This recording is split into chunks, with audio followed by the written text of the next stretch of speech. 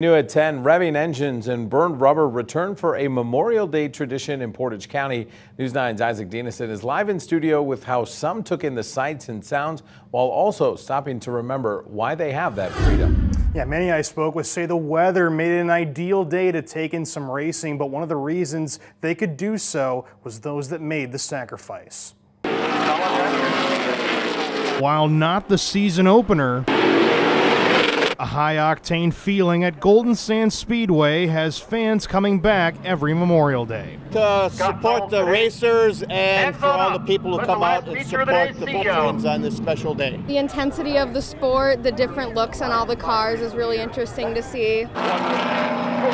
The race is here not just done to honor those who made the ultimate sacrifice, but also a Wisconsin short track racing legend, Dick Trickle. Trickle raced on this track decades ago, and now the Speedway dedicates a racing event to him every year.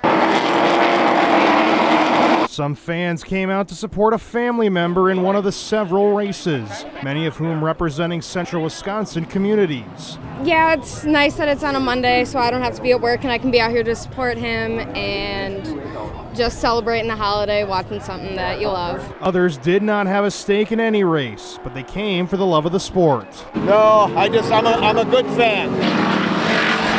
However, the overall message of the day wasn't lost on anyone. Veterans first, and all those that support them, and then the racers, because I've been in uh, racing all my life. Fans young and old taking in a day at the track because of who came before them.